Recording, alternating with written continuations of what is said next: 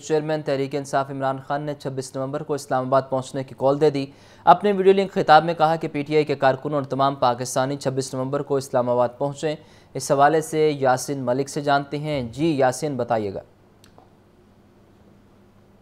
Chairman तरीके इंसाफ इमरान खान ने आज बिल आखिर एक ऐलान, बड़ा अहम ऐलान कर दिया है कि वो इसी माह नवंबर की 26 तारीख को बरोज़ हफ़्ता वो रावलपिंडी पहुँचेंगे। उन्होंने अपने तमाम कारकुनों को ये हदायत कर दी है कि वो हर सूरत में 26 26 नवंबर को कराची, रावलपिंडी पहुँचें और रावलपिंडी में जाकर वो उन्हें अगले लाहे अमल का, जो ऐलान करके बताएँगे कि आगे उनका लाहे अमल क्या है। और इसी सिलसिले में मुख्तलिफ़ जो रहनमायों ने भी कह दिया गया है कि वो तैयारियाँ अपनी पूरी तरह आज तैयारियाँ कर लें। कि कोई ये उनके पास एक हफ़्ता ही बाकी है और इस हफ़्ते के अंदर ही तमाम तैयारियाँ मुकम्मल करके उन्हें रावलपिंडी हर सूरत में पहुँचना है।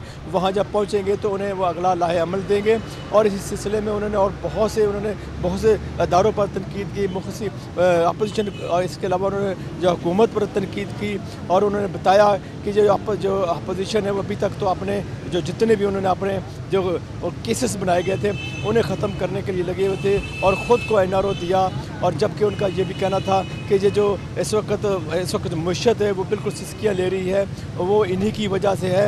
और जबकि उनके दौरे हुकूमत में जो जो जो बिल्कुल मीशत, बिल्कुल बहुत बेहतरीन जा रही थी और मुल्क तरक्की की तरफ़ गामजन था। मगर कुछ जो कुछ दारों का नाम लेकर उन्होंने बताया कि उनकी हुकूमत गिरा दी गई। तो इसी सिलसिले में उनका कहना था कि आज जो उन्होंने जब, अब जमान पार्क में भी आज सुबह से मसरूफियात जो रहीं, उन्होंने मशावरत का अमल जारी रखा।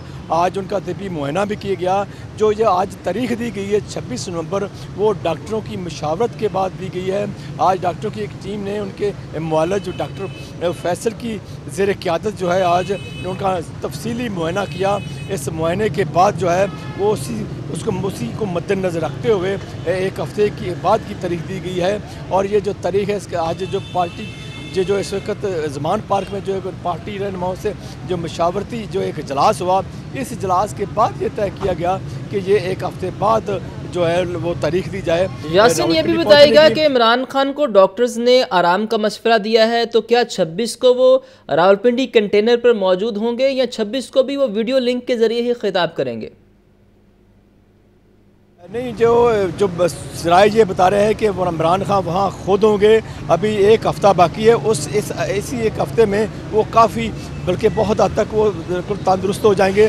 डॉक्टरों की मशावरत के बाद ही ये तारीख दी गई है कि एक हफ़्ते के बाद यकीनी तौर पर उनके जो ज़ख्म हैं वो मुंतमिल हो जाएँगे और वो इस काबिल हो जाएँगे कि वो रावलपिंडी पहुँच सकें और अपने जो कारकुन हैं उनको लीड कर सकें, उनके, उनको उनको ख़ताब कर सकें, उनको, उनके उनको अगले लाहे अमल भी उनको दे सकें। और इसी वजह से ये उनको एक हफ़्ते के बाद तरीक दी गई है।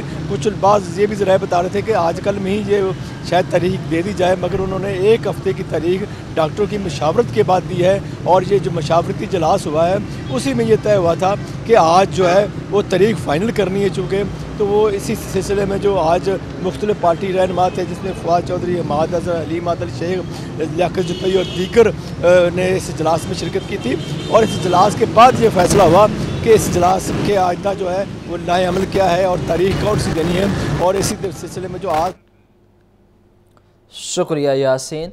चेयरमैन तहरीक इंसाफ इमरान खान ने 26 नवंबर को इस्लामाबाद पहुँचने की कॉल दे दी है। अपने वीडियो लिंक खिताब में कहा कि पीटीआई के कारकुन और तमाम पाकिस्तानी 26 नवंबर को इस्लामाबाद पहुँचे।